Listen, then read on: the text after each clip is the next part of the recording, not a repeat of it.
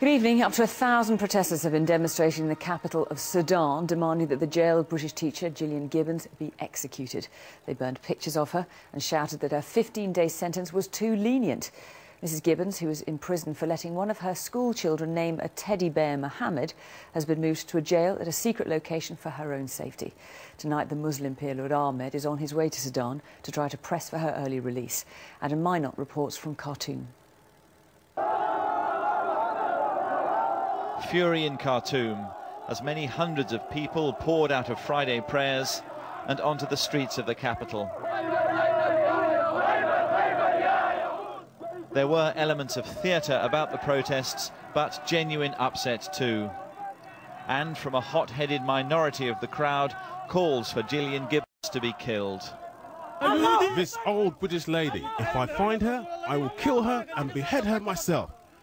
Sticks, swords and banners were waved in an outpouring of anger at her perceived insult to Islam. Our Prophet Muhammad, peace be upon him, uh, we love him very much. And we have a big, uh, great red line in uh, talking about him. And she crossed the red line? Yes, yes. Gillian Gibbons was initially to be held in a prison in Omdurman, the old part of the city, but tonight she was moved to an undisclosed secure location apparently for her own safety. She is reported to have told her son from jail that she doesn't want any resentment towards Muslims. The women's prison, where she was due to be incarcerated for the next 10 days, has an appalling reputation.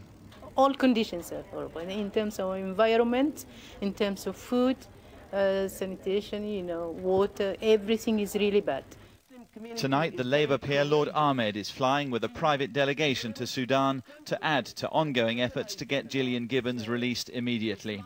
He was invited by the Sudanese government, suggesting there is room for agreement. Considerable diplomatic pressure is still being applied by Britain on the Sudanese government here in Khartoum. And I understand that the British authorities feel that there is still room for a compromise where Gillian Gibbons can be released ahead of serving her full 15-day sentence. Only a small minority joined in protest today. Many in Sudan know little of the case, and others feel she should not have been prosecuted and that court action against her has damaged Islam. The Sudanese criminal justice system is harsh and unyielding. Others have been beaten for illegally brewing alcohol, for adultery, and even for protesting about plans to relocate a university in the capital.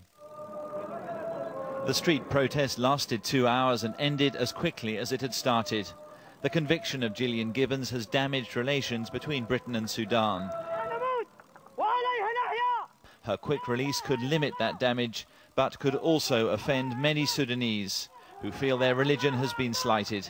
Adam Mynott, BBC News, Khartoum.